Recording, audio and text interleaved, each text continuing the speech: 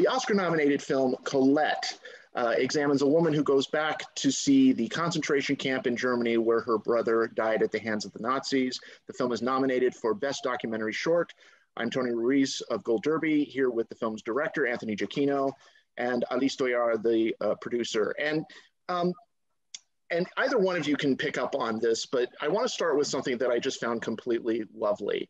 Um, there is a certain uh, symmetry, I think, between Colette's age and this particular Oscar nomination. Can you guys oh. talk about that? Yeah, uh, thanks for having us um, on, Tony. Um, yeah, Colette was born 22 days before the very first Oscar ceremony, which was in uh, May of um, 1929. Yeah, she was born 22 days, right? So she's a little bit older than the Oscars. Um, and in fact, uh, this year her birthday falls on the Oscars. It'll be Sunday, April 25th. She will enter her 93rd year on the 93rd Oscars.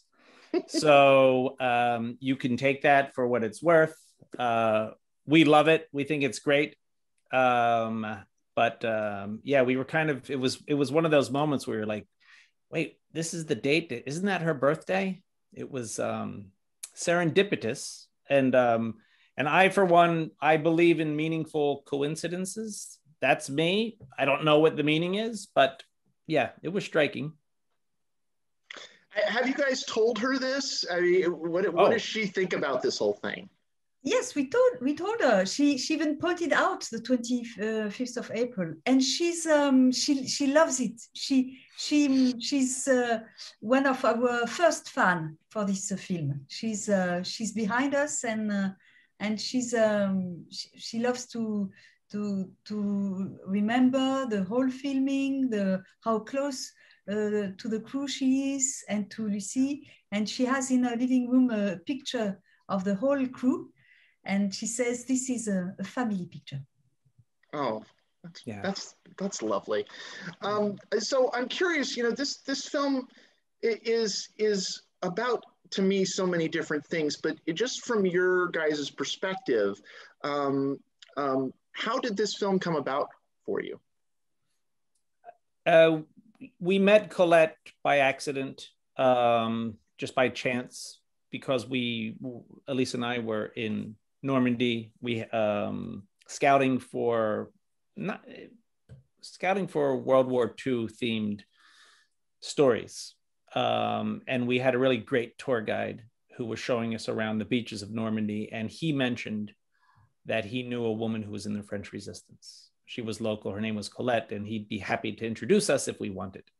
Right. So it was we, you know, we we didn't read a story about her or know anything about her and say, hey, let's go find her. It was sort of given to us in a way. Um, at least the name was given to us, but there was a lot of work that you know that had to be done before we actually really got to meet her and and then um, go on this trip with her. And so I, I can continue uh, uh, to, to, to explain that um, Anthony is uh, passionate about documenting history and uh, I'm passionate about uh, um, women resistant, which is uh, rooted in my own family. And we, when we met Colette, we found someone extraordinary because she, was, she had very vivid memory of the war. She could talk to us about the war as if she, she we were there with her. And she was uh, not only a resistant uh, she, uh, during the war, but she was also clearly a combating combatant woman all her life. Yeah. She had a tone, very, uh, very truthful, very frank. When she she she she would talk about her brother, for example, who was also a resistant and uh, and was uh, uh arrested uh, during the war and then killed by the, the the Nazi. And she was also very tender, very caring about her, about us, about what she could transmit to us and uh, have a, a, whole experience given uh, with a heart. Uh, that's to me one of the one of the most beautiful things about this film is that at no point um, does Colette ever feel like a victim and that it, it's so much about her her coming to terms with something she really hasn't faced in a in a frank way um, what kind of discussions did you have with her and how open was she to going down this very personal road shall i continue on yeah, this yeah, Anthony? yeah for you, sure Mm-hmm. This is typically where um, there's all the, the work of a, of, um, uh, a producer, a creative producer. Like it, so, it's all about uh, creating a, a, a, bond of trust with someone, so that this person, this uh, this subject, this protagonist, uh, um, makes the the um, the journey not only uh, yours but hers yeah. And uh, we had a long discussion about what it would mean to her to go there, even before we suggested that we would take her there. We, we, we discussed a lot with Anthony uh, over the phone because he was in the, the United States and I was in, in France, and uh, uh about uh, the fact that uh, we could only ask Colette to go there once. Because it, we, we, we knew that it would be a very emotional journey and that uh, uh, uh, she, she, she had never gone to Germany, never gone to a concentration camp for a very valid reason that she wanted to forget. Yeah. And the decision to go there with us uh, uh, had to be hers. Yeah. So the first step is exchange.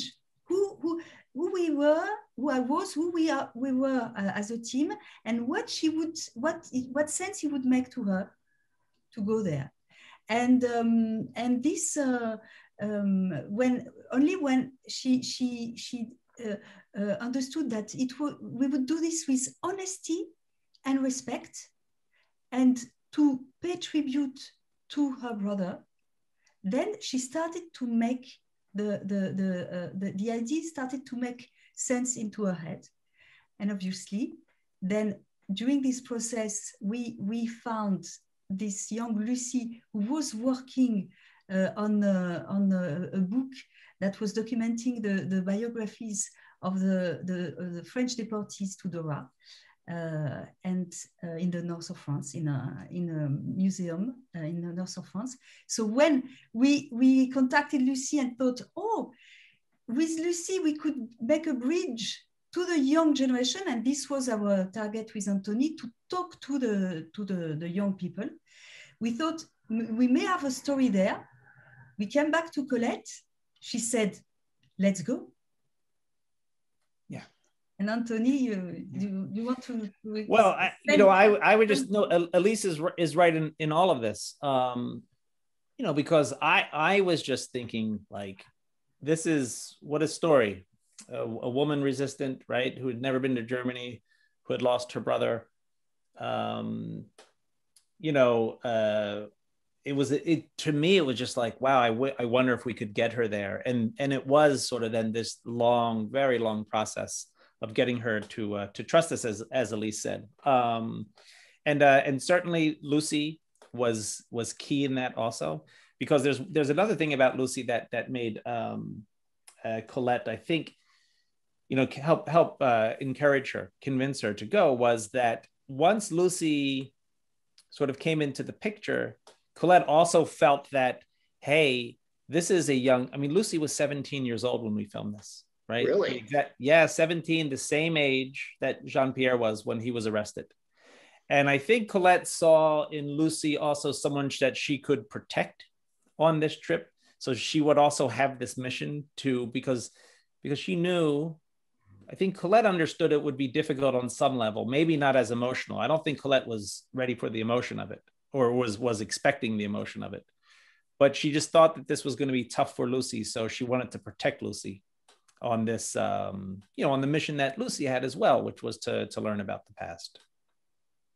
What I, I find Lucie to be such a, a wonderful kind of conduit um, as kind of like a connection because there is certainly this idea that I think the film portrays this beautifully of this idea of this not wanting to forget about the past, mm-hmm. even when it's painful. Um, yes. And um, so I'm just curious, how did how did Lucie come in? How did Lucie come into this picture? Because well, she is a, she's just the perfect person, and her and Colette make such a wonderful team. Yeah, I mean, like there was there was no guarantee that that would have happened. Um, you know, once uh, meaning like that they would have done so well together. You know, when they meet uh, in the film, that's the first time that they've ever met. So um, you know that we we wanted to make a film like that. We wanted to sort of bring them together and see how that would um, develop uh, over time. But you mentioned this idea about um, forgetting to survive, right? That's that's Colette's mindset. And then here we have Lucie, whose mindset is no, we have to remember to survive. So there's this kind of like battle of of you know what is the best way to move forward? What is the best way that we that the two of them could move forward in their own lives? But also i think lucie represents um, this new generation um, or in fact really like the idea that humanity needs to remember these things in order to survive. So so so lucie is is sort of pushing that. Colette is like no i want to forget this. And i think that's a tension in the film um, and I do believe that Colette comes around to Lucie's idea that um, that yeah, we need to. It's okay to remember these things, and then that, of course, is embodied by the scene with the ring when she gives oh. when she gives Lucie the ring. Because I I kept when I saw that happen, I kept thinking about how amazing that was. Also because you know that that that ring now has another hopefully 80 90 years right uh, ahead of it whereas it may have just been lost right um, if colette hadn't done that. And i just think that that is a physical representation of that idea of remembering. And and i i, I just jump on what anthony said to say um, that uh, uh, colette has no children. So indeed this this ring would would might as anthony said might, might have got lost uh, in the but here now it's in the hand of Lucie. Yeah. Mm. I, I want to talk about about one specific moment that I thought was so interesting is is when they go when Colette and Lucie go to basically the crematorium. Yeah. Um, I think that you guys made it. I think a deliberate decision to, you know, keep the keep to not to go in yeah, for sure. With Colette. Um, what kind of conversations did you have around that particular moment? Because it really is kind of the emotional climax of the film. Yeah, I mean, you know, we, Alice and I, and our uh, director of photography, Rose Bush, Annie Small, our you know producer also who was there on like we, we talked a lot about these things. I mean, we, we we talked among ourselves what would be appropriate, what wouldn't be appropriate to do um, as the days went on, it was clear that this was sort of a tremendously emotional journey for them. Um, again, like I said, it wasn't clear when we were there, um, maybe traveling to Germany. I mean, we knew that there might be there are some expectations, but once we were there, we were very, very careful. Um, and the idea of not going into the crematorium was simply just um, a feeling I had when I walked in there myself, by myself, um, and just trying to understand what happened here, knowing that Jean Pierre ended up there. Um, really, um, just in a deep level, feeling the sadness of that space and thinking that uh, it would be inappropriate to go in there with a camera with Colette and, and with Lucie. Um, they did allow us to you know keep their microphones on. But uh, that was something that was sort of like the end of the trip in a way for them that they needed to um, experience together and without a camera without anyone sort of um, of watching them.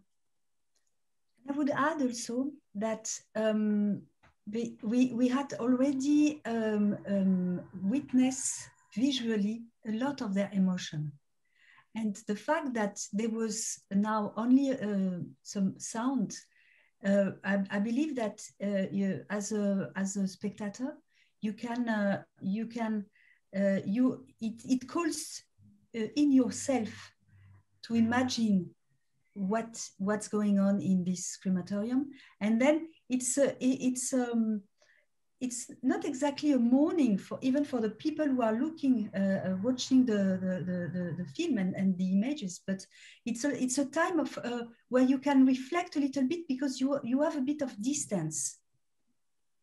Yeah.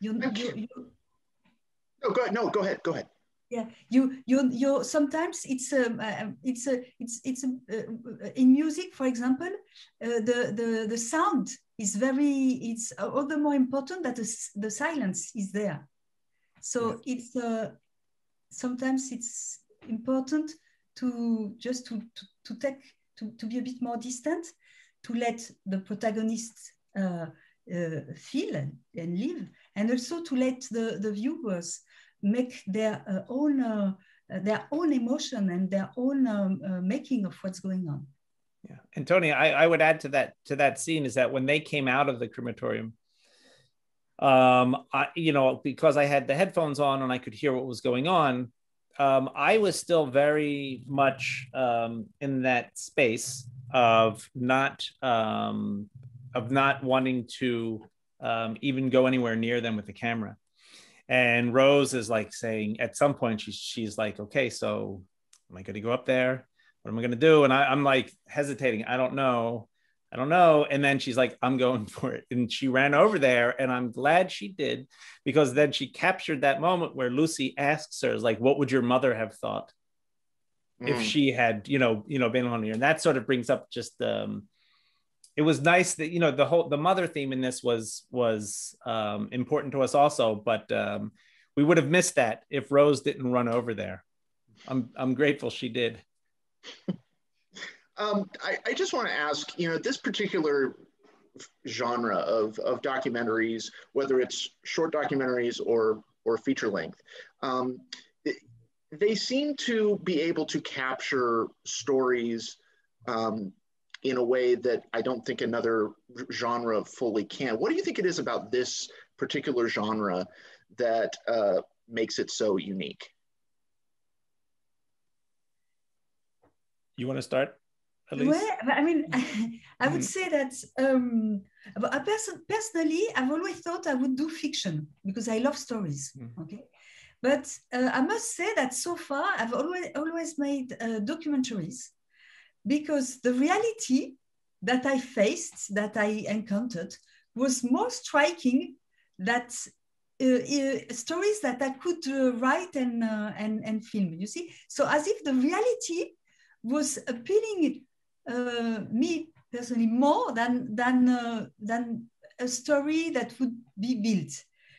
maybe in the future this will change, but um, yes, in the documentary, there's a there's this uh, this amazing uh, uh, um, element, which is this is real. Yeah, yeah. And uh, I, just just for um, clarity, Tony, uh, are, are you are you talking about sort of World War II? concentration camps? just like what, you know, what, what, do you really for the really just just documentary shorts in general i i love these because mm-hmm um, and if you look at all the nominees in this category are so different and yet are telling such individual stories yeah. that you don't oftentimes get in even narrative features. Yeah, I mean, uh, I, I, you know I, I think about um, like think about what the themes of all of these films right? Um, there, it's not the most, um, how should I say, heartwarming um, uh, category, right? Of um, you know, out of everything that that is going to be presented um, at the Oscars, and and yet there's stories that need to be told. There's stories I see sort of a common, you know, even you know, even even if it's about something like Do Not Split, for example, in terms of um, just sort of you're you're in the moment, like right now, and sort of this amazing major event that's happening now, uh, they're all asking us um, to not turn away from these events, uh, whether that be the past of, of World War II, um, and that you can see how uh, it lives on, you know, to um, what's happening today. Um, so yeah, I mean, I would agree, and I also agree with with with what Alice is saying is that sort of the re- reality is just more interesting. I mean, certainly, I, I I agree with that with what Alice says, you know. Um, and and in our film in particular, you would almost think that some of it must have been written, right? But indeed, you know, Colette and Lucie took a chance uh, with us, and um, and I think not surprised not only us but but themselves as well. Uh, it really is such uh, such a gorgeous film. Um, uh, everybody go to goldderby.com, make your predictions for the Oscars, and stay tuned uh, for more interviews throughout uh, Oscar season and Emmy season. Um, Alice Doyard, Anthony Giacchino, uh, congratulations, best of luck. Thank you so much. Thank you. Thanks for having us.